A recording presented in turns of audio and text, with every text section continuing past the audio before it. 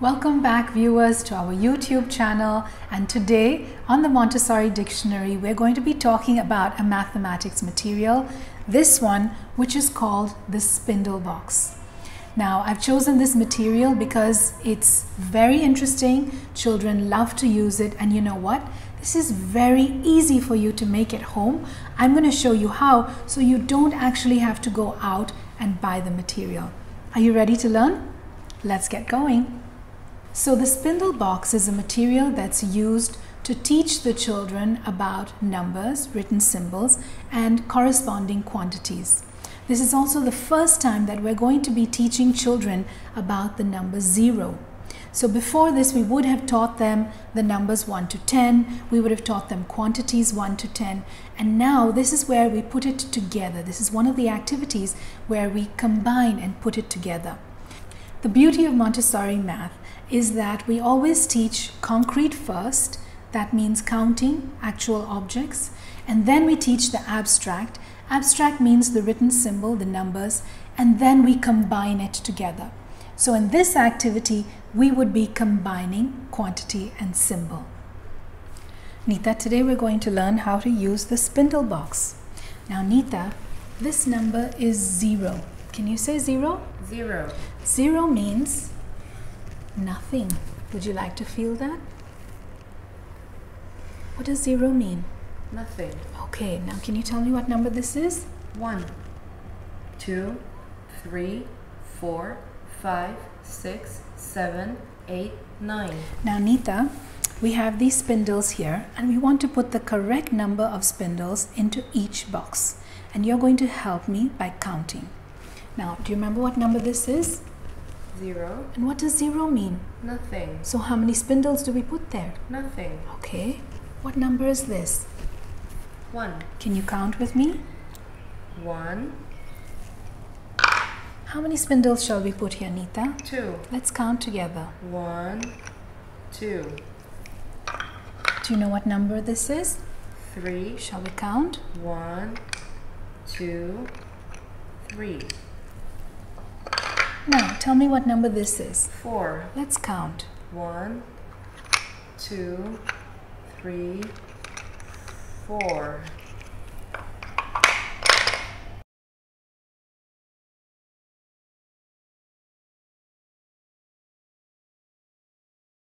What number is this, Nita? Nine. Let's count together. One, two, three, four, five, six, seven, eight, nine.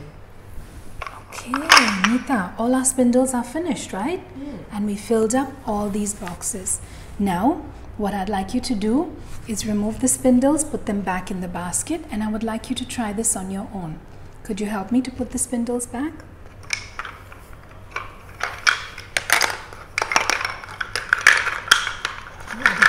Wasn't that an interesting activity? Now let me tell you about the secrets and the beautiful, beautiful benefits behind this material.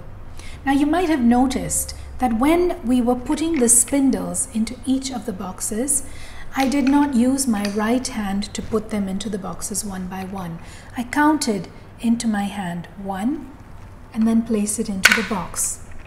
One, two, and with my left hand put it into the box. Now the reason behind this is we want the children to get a muscular impression of quantity. So when she counts one, it feels like this. But when she gets to the bigger numbers and she has maybe eight or nine in her hand, it feels like this. Her hand is struggling to hold it. So she's understanding with her body that as the numbers go higher, so the quantity also becomes bigger. Isn't that interesting?